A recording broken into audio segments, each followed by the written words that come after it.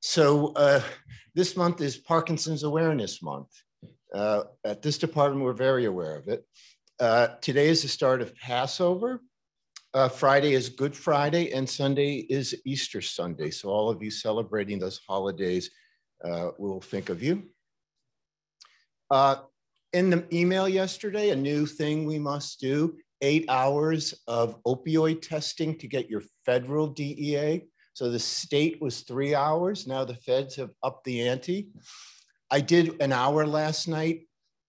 There weren't, there were questions at the end, but you didn't even have to click on it. It was watching a video. So if you keep this quiet, I just zoomed all the way through it and got credit. So uh, just, a, just an FYI. uh, Tasneem is our uh, all-star, as always. Uh, Tim Collins said one of our patients at Morreene Road was having uh, chest pain and elevated blood pressure, and there was actually an elephant sitting on the patient's chest. But uh, Tasmin immediately ran into uh, intern mode and took charge, and everything worked out. So great work. Uh, for the faculty, the annual faculty advising was supposed to be due March 15th to your division director. You're supposed to fill out your own form about your strengths and weaknesses and send it on to your division director. If you don't, you'll be in big trouble. Uh, the AAN meeting is in Boston, April 23rd to 28th. We're having a department event on the 26th. Is that the right date, Will? Um, it's Tuesday, the 25th. Okay. It's, it's a Tuesday. Okay, gotcha. The 25th. We're going to celebrate the department's 10 year anniversary. This is something that uh, Megan had, had found and kept in her house uh, from the Duke Chronicle, February 2013, an article about the Department of Neurology about to become its own department. Joel was the, the acting chair at that time and then became the first chair of the department on uh, uh July 1st, 2013. A little bit of North Carolina history, didn't know this but Pepsi was invented in North Carolina. Caleb Davis Bradham was born in, I don't know what that is, North Carolina. He wanted to be a doctor, went to the UNC and then the University of uh, Maryland Medical School to become a doctor, worked in a pharmacy to make money, but then his family's finances uh, took a turn for the worse and he had to come back. But he opened his own uh, pharmacy store, which you can see on the bottom right. It was uh, Bradham's Pharmacy. He made a drink mixed of sugar, water, caramel, lemon oil, et cetera, et cetera. It became a sensation. It got the name Pepsi because he thought of it as a treatment for dyspepsia. And uh, that's where the name Pepsi Cola. He subsequently went bankrupt. Several other companies that bought the rights went bankrupt. Eventually, it became its own uh, corporation. And I, I think now it's owned by Frito Lay, maybe something like that. Yeah. But anyway, Pepsi was born in North Carolina. Who knew? So uh, did anyone know that? One person. Two. Suma knew. Is anyone here like Pepsi? Okay, one person. Okay. uh, uh, Brad Coles was part of a study looking at the unfolded protein response in excitatory neurons and neurodegeneration. Simon Gregory is a little off track and is looking at chronic lung allograft dysfunction. Uh, Andy Liu, Katie Moore, and Kim Johnson looked at uh, OCT angiography uh, as a way to see changes in the retina that mirror neurodegeneration in the brain. All great stuff. And now we're going to turn it over to Kristi Kehoe for today's case, case presentation. And anyone tiling in, those is actually not today's CME code. The CME code should be in the chat room.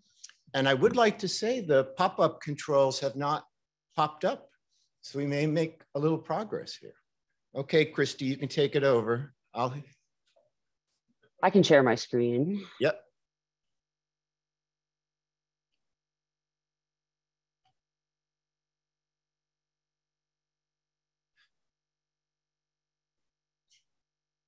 All right, again, so I'm Kristi Kehoe. I am one of the physician assistants with the stroke team here at Duke.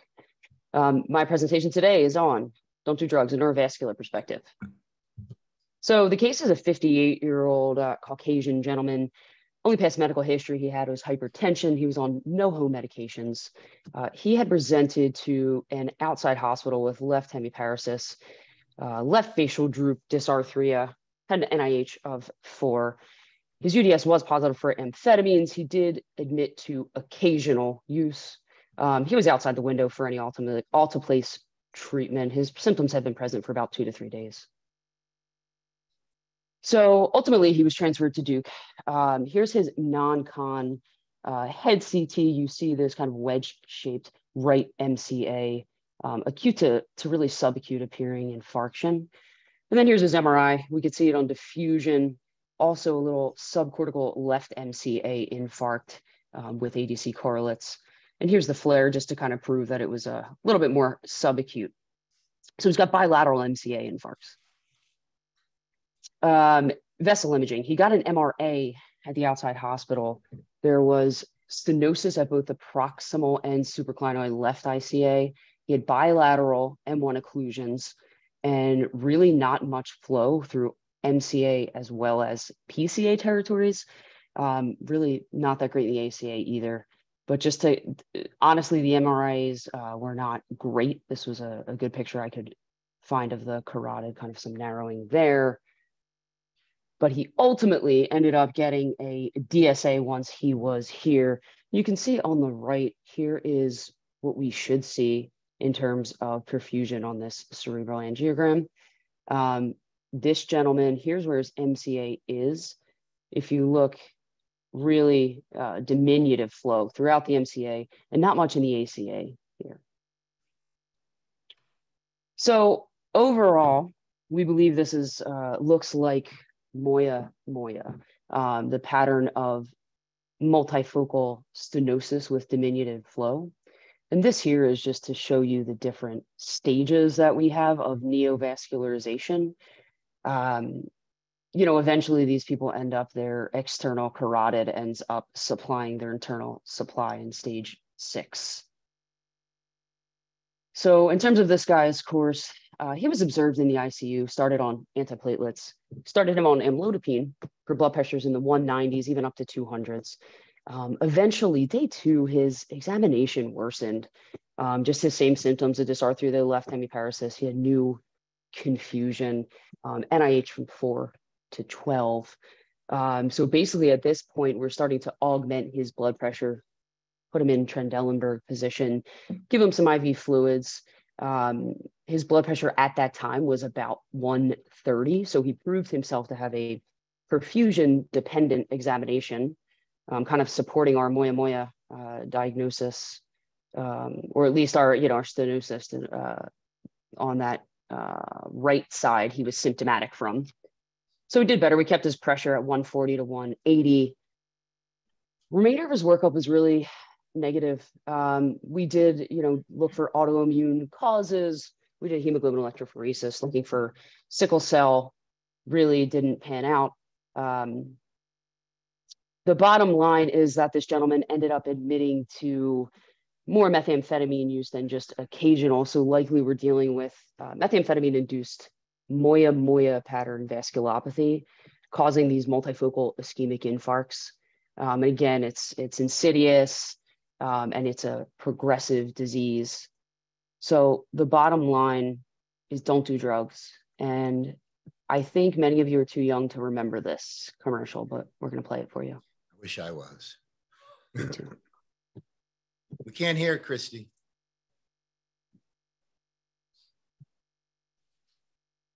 I could dictate it. This is your brain. this is your brain on drugs. Anyone remember that?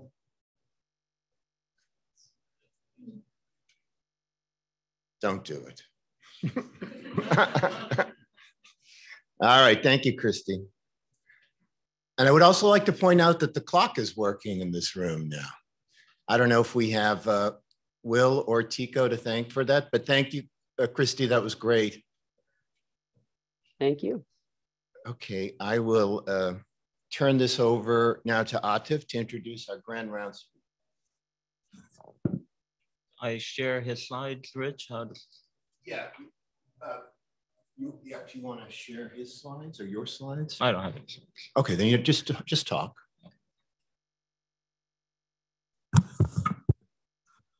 All right, good morning, everyone. So it's a, a pleasure to introduce today's Grand Round speaker. I'll start off with a little anecdote. Uh, when I started medical school, my brother, who was becoming an economist at, at that point, said the only reason anyone goes into medicine is if they can't do math. Uh, and I think that's probably true for the most part, except that today's Grand Round speaker will disprove that hypothesis. So I'm uh, honored to present Dr. Hau-Tieng Wu. Um, he sent me his bio and I took a couple hours to read it. Um, but I'll just present to you a, a, a couple of uh, uh, tidbits. Um, Dr. Wu uh, went to medical school in um, Yang Chao uh, University in Taiwan and uh, practiced as a resident doctor in Taipei Veterans General Hospital uh, for a few years, and then realized that this wasn't his calling and decided that instead he wanted to do mathematics and uh, moved to Princeton University to do a PhD in math. Um, quite a leap. Uh, most of us decide to do an MPH or an MBA, but he decided a uh, PhD in math was his calling. Uh, he joined um, Dr. Uh, Ingrid Daubechies, who was there um, and studied with her, and she was his PhD mentor. She is now a professor at Duke I didn't know this. My kids educated me about this, that uh, she's the go-to person in math and recently won the Wolf Prize, which is like the Nobel Prize in math. And um, uh, Dr. Wu trained with her. Uh, for those of you who don't know, she is apparently uh, the person who is behind JPEG. So if you ever use JPEG, that's uh, Dr. Daubechies. Nonetheless, um, he did his PhD uh, and then moved to the University of Toronto to take his first faculty job and was assistant professor there and then ultimately moved to North Carolina as an assistant professor and over the years is now a tenured professor in the math department here and um, has a number of interesting uh, things that he does. His relevant interests to us uh, are his interest in mathematics, statistics, and medicine with a particular focus on biomedical signal processing, theoretical development, and associated clinical applications and unmet needs. He's co-authored many, many papers, uh, is editor of several journals. Um, but he was introduced to me because of a device that he has that um, will uh, measure a number of biological signals, including uh, various sleep stages, with simply measuring uh, your pulse. And so um, he and I started talking about uh, application of his work in uh, neurological signal processing certainly we uh, acquire a lot of different neurologic signals and that's what brings him here and he's going to tell us about his interests. So thank you very much, Martin. You want me to do it? Yeah, I just want to make sure it works. So uh, share screen at the bottom. And then share his presentation, this one here. Make that so how do we make that big? Here? How do you put this in presentation mode? I think there is a there's a there's a view or display mode.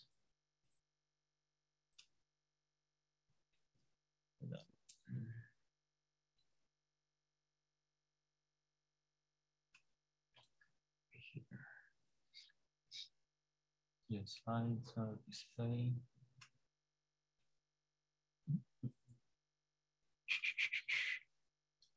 Could just do one of these. Oh, Full screen? Yes. Right. Okay. Okay. Okay, wait, let me hide. This is what I'm most proud of. Okay.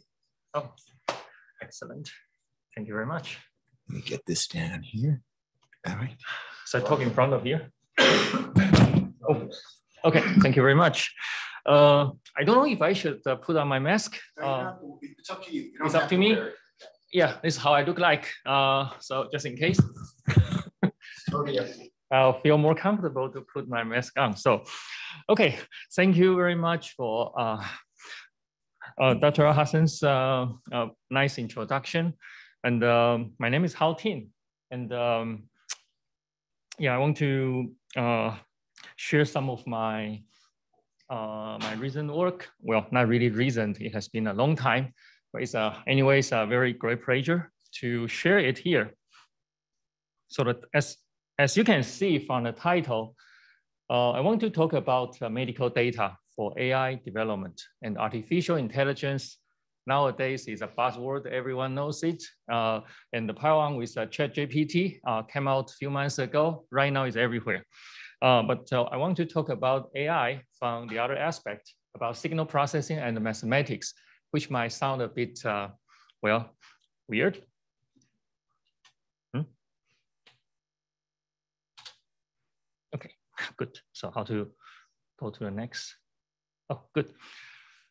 So I want to first uh, remind you, in a hospital, you can see this kind of high frequency time series everywhere. Okay, uh, all these are should be very familiar to you uh, everywhere.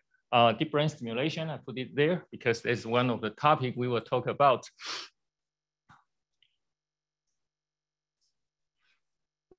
And overall, Nine, going down. Going down? uh, what can I do by going down? okay, hopefully it's not for me. Uh, so the overall research structure, all the relationship in this uh, AI, artificial intelligence, uh, and so on can be roughly classified in this way. Okay, uh, usually you have you start from sensor design, and then you get a signal, and you do some signal processing, feature extraction, and you have some do some statistics, which we uh, all are trained to some extent, and then we can develop some physiological backgrounds and apply it to clinics and develop science from there. And usually what is AI? AI somehow can be combined all these blue blocks. Surely, hopefully someday soon, it would be able to replace everything, including design the hardware, including developing mathematical theories. But nowadays we are not so ambitious. We are trying to say, okay, from signal processing to clinics, what can we do? Although that is uh, something we hope, but I want to tell you and convince you today that a lot of information available is locked. It's not that we can access as we will, as we wish. So the first example is deep brain stimulation, uh, which should be, uh, which is uh, everywhere in this department. Um, so usually you have a for example, this is a deep brain stimulation in STN, uh, subthalamus nucleus, and you have a local field potential, and you have stimulation at 130 hertz. Then you will get a lot of uh, kind of artifacts, which if you zoom in, will look like this.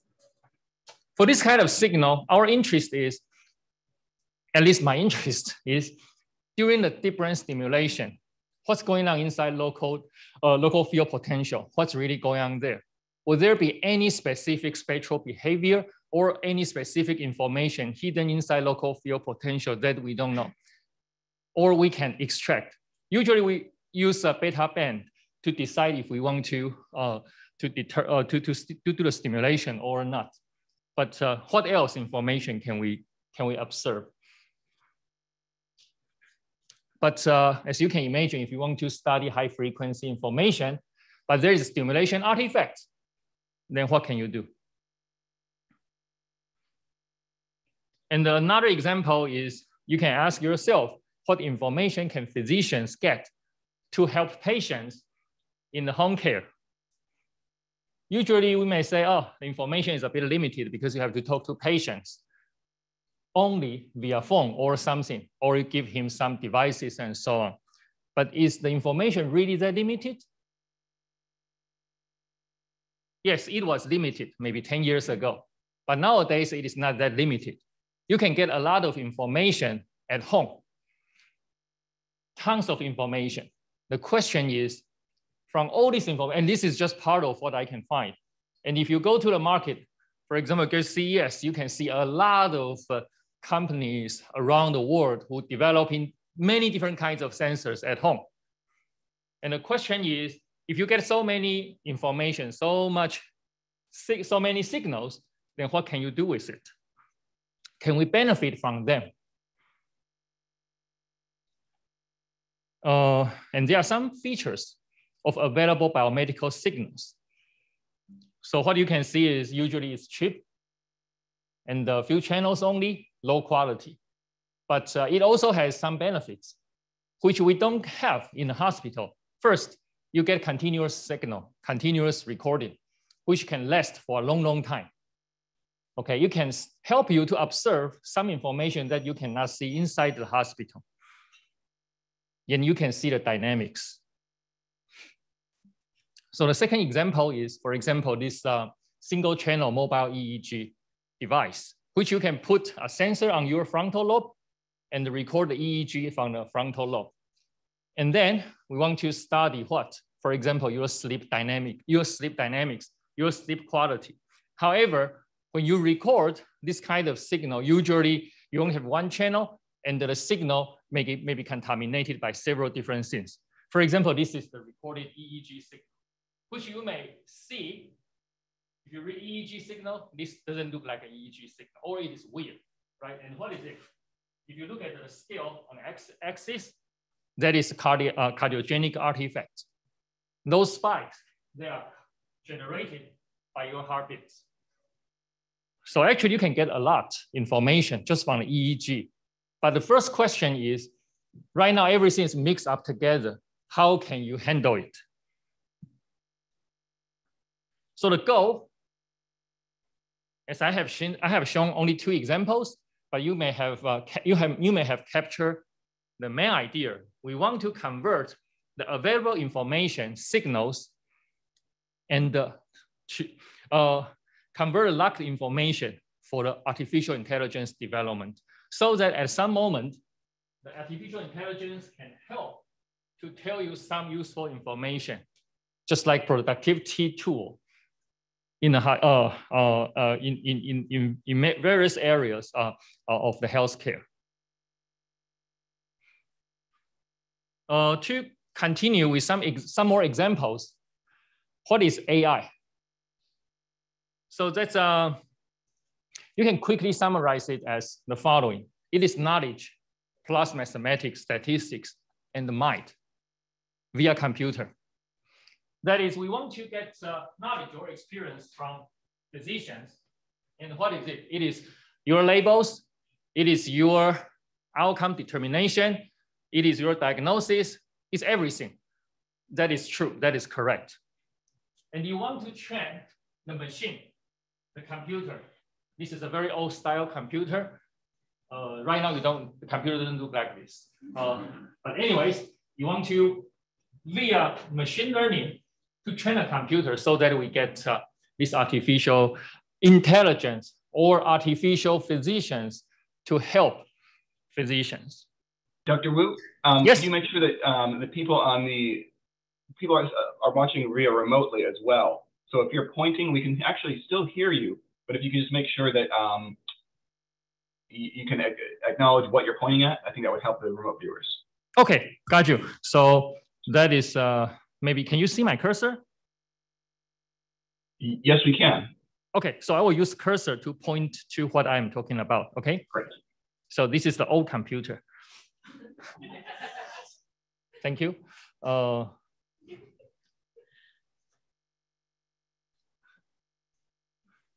so how to convert data to AI? My personal opinion the most important thing is model and analysis. Model and analysis. That is how do we understand the nature. If you think about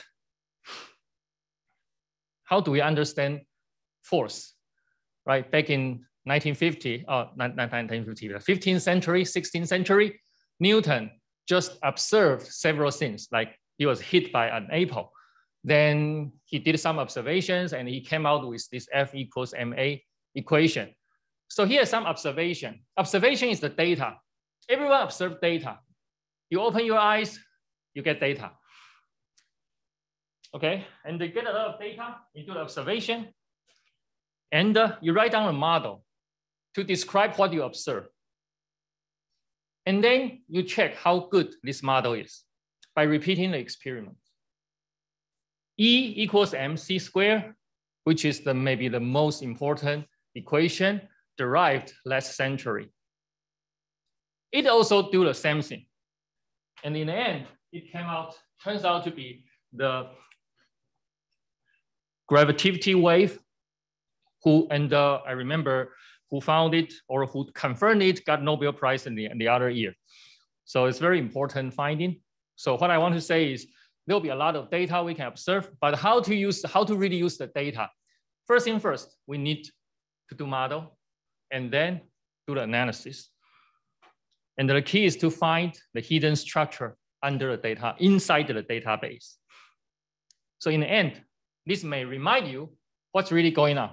It's nothing but scientific argument that we all learned in high school, right? You, what you do is you get real world data, you do observation, you collect data, and you argue the, or dis, you agree or dis, uh, disagree, and you repeat the experiment, and you establish theorem and law.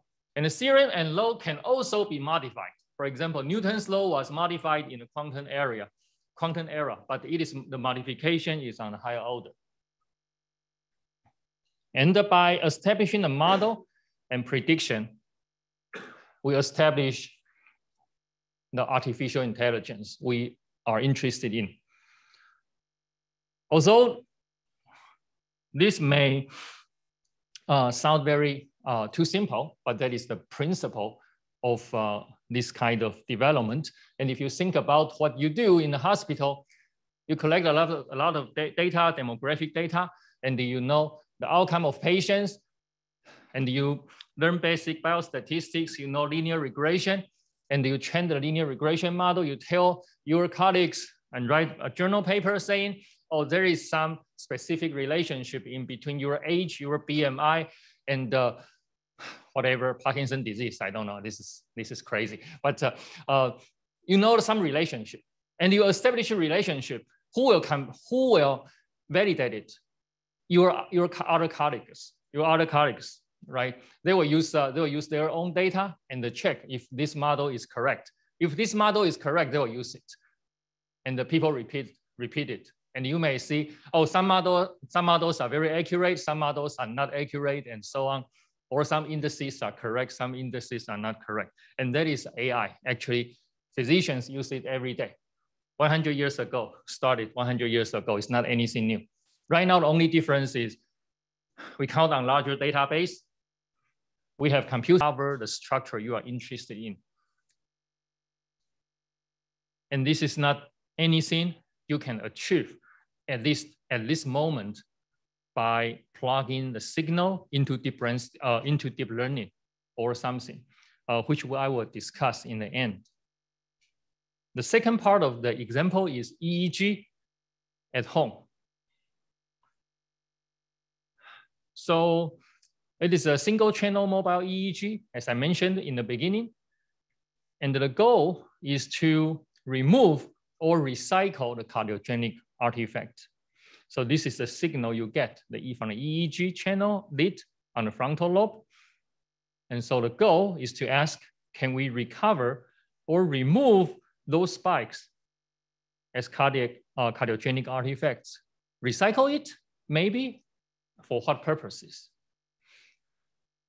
And if you do any study or research in EEG signal local field potential, this plot might be familiar to you. This is time frequency analysis plot spectrogram. So you can see that is time. And at each time, at each time, you can see the power spectrum, how the power spectrum looks like. And you can see that in this plot, an interesting thing is there are many strange bands, which doesn't look anything normal. And those are those those are uh, those comes from those come from uh, cardiac uh, uh, uh, cardiogenic artifacts. So the proposed algorithm again may look complicated, yeah, but actually it is not that complicated. And I will not go into details of the algorithm, but I want to tell you to achieve the algorithm to, clear, to clearly or very accurately remove the stimulation artifact or separate the stimulation, uh, sorry, to separate the cardiogenic artifact from the EEG. What you need is, for example, time frequency analysis, harmonic analysis, and you need to have some learning theory to back up what's going on. And finally, random matrix theory, differential geometry. And this is a result of applying the algorithm. You can see that the stimulation artifact, oh, sorry, the cardiogenic artifacts have been very well removed. And those are cardiogenic artifacts. Why? Because if you compare with the simultaneously recorded ECG signal electrocardiogram, you can see they match quite well. So you can unlock spectral information by doing a separation. So you get the spectrogram improved. And you can also get electrophysiological information, which is uh, you can get uh, the T end. For example, this is the estimated artifacts, cardiogenic artifact. And in this cardiogenic artifact, you may see some small bumps. Those small bumps after the big spikes, those small bumps, they are associated with the T end. So maybe we can get some more electrophysiological information just from your EEG. Is it possible? This is the, the topic we are exploring right now. Maybe. And why? And you can unlock the heart rate information for multi-layer surrogate information, which is not that, uh, not that common in the hospital that your patient monitor will break down so that you don't get heart rate information, but at home it is possible. So your heart rate information may be breakdown. The EC, the EEG, ECG, ECG device or PPG device breaks down and so on, then you don't get heart rate information. Then what you can do is you can use this cardiogenic artifacts information to be the surrogate information of your heart rate. You can even do visualization. After you remove the stimulation artifacts, you get the EEG signal back. Then you can apply some visualization techniques to visualize your uh, sleep dynamics, sleep dynamics. And uh, actually, I have a video in my slide, but now there's no video here. Uh, what I want to show you is there's a way to visualize an ultra long signal so that you can see what's going on with some physiological uh, meanings. And one clinical application I'm very interested in that I was talking to Atif is uh, can we boost uh, sleep? because uh, by visualizing your sleep dynamics you, from your EEG signal, we found that, oh, you may stay in N2 if uh, um, your sleep stage is in N2, but it is located in some specific locations. But it may jump to N3 if it is in a separated region. Okay, so if we can somehow classify N2 stages is it possible that we mimic uh, Philips uh, smart sleep device to do something to boost, to boost uh, your sleep quality and so on? There's a, there are many interesting problems that you can start to ask after this stage. So in summary, mathematics plays an essential role in unlocking biomedical signals. And today I only show you two signals local field potential, and the home EEG, there are a lot, which I cannot exhaust in 40 minutes, but uh, you can imagine almost everything about biomedical signals, almost everything, you encounter one or more challenges. And what information you can get, what information you want to get, well, uh, you need uh, you need to, to, to pay some attention. So I will be very happy to help who are interested in this direction and uh, collaborate for sure, and uh, hopefully can get, uh, get more out of it. The last slide is what you may or may not aware, but if you ever play with uh, deep learning in your life when you do research, you may know two very famous people. One is uh, George Hinton, another one is Andrew Wu. Okay, and uh, look at what they say. Okay, I am no longer a physician. I quitted practice for a long time. But every time I saw this kind of statement, I'm kind of uh, not very pleasant.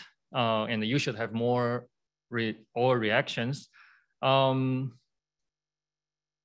deep learning is not a bad thing, but uh, deep learning is suitable from my perspective at this moment only for industrial purposes. It is not suitable for scientific development, not to say replacing physicians. Um, I will leave the remaining parts uh, for you to think. Um, I won't give too much comments about it, but I will say you using deep learning, you should use it uh, with care. And there in, in mathematics, uh, there have been many researchers trying to study and understand what's going on in deep learning, what is the mechanism, but to our knowledge, so far, it is still a black box. So we really don't know what's going on. And just imagine I give you some devices that you don't know what's really going on. You don't know the mechanism, you don't know anything. And I tell you, hey, please use it to treat your patient. Who will be responsible in the very end? FDA has given some regulation last year about how you do this. And if you are interested in, in this topic, FDA has a, a, a long, long, long discussion about it. So thank you for your attention.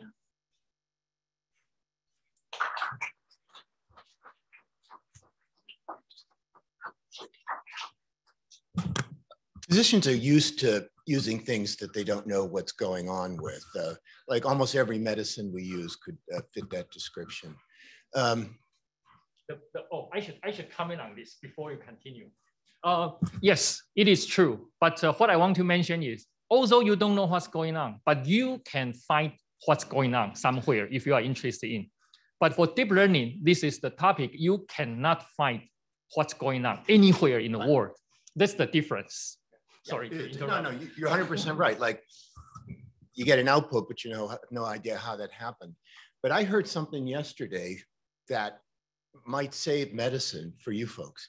There are companies now that are developing software or whatever where that'll just listen to your interaction with the patient and then write the note for you.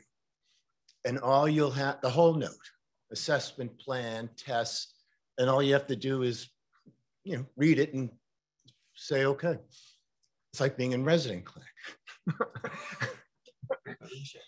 no, but I mean, just something hopeful because right now all doctors do is spend all day typing into a computer. And they don't really spend nearly when i was young you'd write some stupid note and a couple sentences in the chart and be done. Now now it's like the computer is the patient not the the actual patient. Um, anyway uh, i'm going to write down could you repeat again what your, your brother said atif? Because i think it's genius. Oh you only go into medicine I think that's that is that I think it's true. Although, didn't we have a math major a couple years ago in the residency? Yeah, Danielle. Yeah, yeah. So we had one, but that but that's it. Tung Tran has a degree in math. Okay, there you go. There you go. But I do want to point out that in his second last slide, he said stop training radiologists, not EEGers. EEGers are still okay so what I would say to you now is, uh, I'm sure everyone's thinking this, why in the world are you working on surface recordings when the real business is in intracranial electrodes and things like that? This is a, there is a one last thing I want to point out. This is the, the icon I put here, productivity tool. I think uh, we should view AI as productivity tool instead of a replacement of our human beings. That's my personal opinion. So I always use it to help my to help me, just like uh, uh, Dr. O'Brien. O'Brien, sorry, O'Brien mentioned. Yeah, we just want to cut some cracks from our life, and uh, maybe to to to to save our brain band bandwidth to do something maybe more useful. Yeah, usually more useful. Yeah, but uh, yeah. So so anyway, the question: What about uh, intracranial electrode recordings and why are you working on surface EEG, which has so much limitations because of the impedance and stuff? Oh, yes, uh, because that is the data. Well, to be honest, first sleep. I I I have sleep problem myself, so I, I can't see. yeah. So I I I, start, I, I I am interested in sleep study. Do you know And- who Brigitte Frauscher is? Oh, So she's coming here okay. and her field of study is intracranial electrode analysis Uh-huh. of sleep. Okay. Oh, Yeah, in Wow. epilepsy. I see. So there are two reasons. First, I have my own sleep study, and second, uh, I have my own sleep problems. Uh, second, I am afraid of being cut of my brain. So my skull is, uh, if someone to cut it, I mean, I'm afraid of it. All right, I have a question for you. This is I, I had a dream last night okay. that all my tattoos fell off. Okay. They just shriveled up and I could peel them off. Oh, wow. What does that mean? Oh, good question. well, if there is anyone who is interested in studying dreams, I will be super interested. I'm trying to find someone who are studying dreams in this area, but I couldn't find one. Yeah, the dreams, yeah. And I woke up and there were some scratches on them. So I clearly, it was something strange was going on. Yeah, and the, the other one is Parkinson disease because I, I mean, I yes, think I, I, I think there's real value. I mean, as, as Rich is pointing out, there's value to looking at intracranial signal, but there's also real value of looking at surface signal. I mean, that's how you democratize signal analysis, give it to everyone. Yep. And so we know that sleep analysis is very common. You showed in your initial slide uh, that walking, uh, you know, people are measuring that, even bowel movements. You, you showed a, a, a, a commode and, you know, that's measuring stuff and but. yeah, There's, yeah, perfect. I thought you were going to say that they were doing EEGs on people having a bowel movement. They have signal to, to, to get from that, but but nonetheless, I mean, one of the things to, to look at is neurologic health. uh, yes, Predictability of things like stroke or seizures. And there's AI algorithms out there looking at predictability of seizures, at least I don't know if there are for stroke or not. Um, but is that something to look at? I mean, yeah, yeah, yeah, it is. you obviously do a lot of work with cardiac signal and you're, you're subtracting artifact, you know, cardiac artifact from EEG. But artifact to us as an EEGer may not be real artifact. You can derive analysis and, and data from that artifact. Is there a thing, is there anything there that allows us to look at neurologic health? I believe so. I believe so. Um, Or for instance, you know, um, incipient dementia or something like that. Sure. Uh-huh, uh-huh. Yeah, yeah, yeah. Well, one one very short answer to this question, I didn't why why I didn't do it is because I don't I didn't have any collaborator in the direction. So, well, yeah. So if there is any data and any interest in that direction, I would say all these kind of topics and the well the, the, the algorithm, the signal processing, the mathematics, they are universal. It's not uh, only for this topic and I, re I, I report these two, two results simply because it is neurology department and those are the two topics closest to neurology. So I reported them, yeah. So uh, first of all, any questions in the room? Anyone on the internet who has a question, just put your name or question in the chat. We have a few minutes. Felix, is Felix here? He usually has a question about things I don't understand. Felix, not out there? Uh, So anyway, no questions in the room? Okay, so there's going to be a quiz. So, um, so you're interested in collaborating with people who have data Right. Yeah. Very or, or. EEGs? Yes, But I still thought surf, I mean, I was told by John Viventi five years ago that surface EEG has reached its limits of resolution and, and signal, and that is just not worth it anymore. And Brian Litt, who's at Penn, has been looking for correlates of, you know, spike detection algorithms for decades, and the progress hasn't been very impressive. But it depends on what you're looking Hmm. for. I mean, if your ultimate goal is diagnosis of epilepsy or localization of an epileptic focus, perhaps yes. But if your if your focus is something else, I mean, maybe there is something about dementia that- that's going to get picked up from surface EEG that may not necessarily be appropriate for intracranial EEG. Intracranial EEG is fascinating and it's helpful for a lot of things, but it's not the answer to everything. It will give you a very focused look at something, It is the answer to how the brain works. perhaps. yes, you get better picture, more information. Right. And that's why I came to Duke to help figure out how the brain works. And Haven't made a lot of progress on that. Yet. I know how it falls apart, but not how it works. yeah, it's very challenging. But, but some of the simplistic things like removing artifact, ECG artifact, that's great. I mean, on, on surface EEG, you remove ECG artifact, that's wonderful. But those of us who look at EEG already are trained to automatically ignore that them. artifact in our brain. Right. Yes, So right. We don't need you to do that. Exactly. We need you to do something beyond that. So this is great. But I can see in the local field potential in, in DBS, perhaps the, the, the movement folks already know this, but if you're able to look at the local field potential with different stimulation paradigms, Hmm, right. are there improvement paradigms that can be designed with different stimulation by looking at local field potential? Then presumably we can do the same in epilepsy with deep brain stimulation for. Yeah, that's something new. So Yeah. s- s- people have been studying like consciousness or alertness by giving a, a stimulation and then watching the brain respond to it. Yes, yes, yes. Well, that's a very interesting question. Yes. Um, so I was uh, uh, my collaborator in deep brain stimulation. Uh, uh, we work on this uh, closed loop, closed loop uh, deep brain stimulation, and to determine when you do the stimulation, when you close, uh, when you shut down the stimulation, which the focus is beta band. By the way, speaking to this, so the, And then this is uh, this is uh, what people are doing, Medtronic and so on. They're all work all focus on these parts for Parkinson disease. Then I asked one question. I asked why 130 hertz? Can we change the 100 to 20 or 120 or 135? Can we change the interval of stimulations that is more adapted to your local field potential status? For example, this period is one over 130 seconds. The next second, next period will be one over 129. The, the next period will be 100, one over 150. Will that be more helpful to kind of intervene your local field potential information or, or your brain status?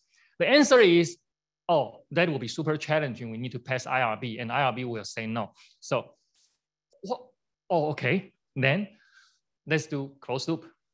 Yeah, that will be kind of the, the challenge I usually encounter. Sometimes something I want to try, it's not that, I don't think it's crazy, but uh, because you will touch the patient, you change the paradigm and uh, you don't have reputation. So, so I cannot do this, but I will be very interested to study this, like how to change the stimulation pattern or even the time varying uh, stimulation strengths, time varying intervals, right? I think that will be, all these are interesting. So uh, remember when Kyle, I think it was Kyle, gave grand rounds? He talked about the fact that these DBS machines are like Epic. They have like a thousand more capabilities than the clinicians ever use. And they're just kind of built in there to study.